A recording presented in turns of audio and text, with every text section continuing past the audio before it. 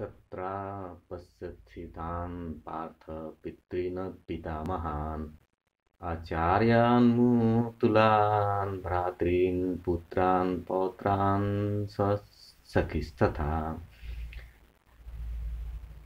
श्वशुरान् सुहृदश्चैव सेनिरुभयोरपि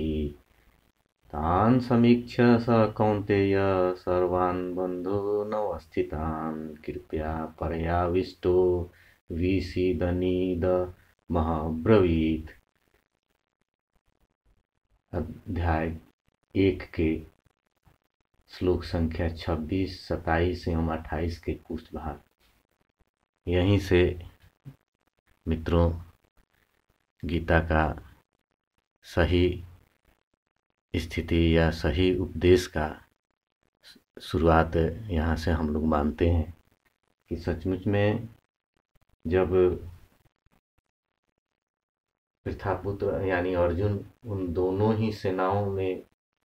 स्थित ताऊ, चाचू, दादों, परदादों, गुरुओं, मामाओं, भाइयों, पुत्रों, पौत्रों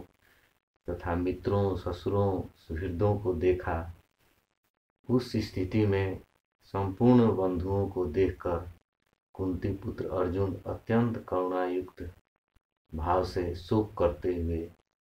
वचन बोले। और आगे यहीं पर वे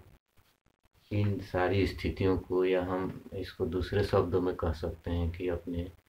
इष्ट मित्रों, अपने संबंधियों को देखकर उनका मन विचलित हो गया या हम कह सकते हैं कि अवसाद से ग्रसित हो गए। और वे न चाहते थे कि इन लोगों को युद्ध में मैं मारूं और इनसे युद्ध करूँ।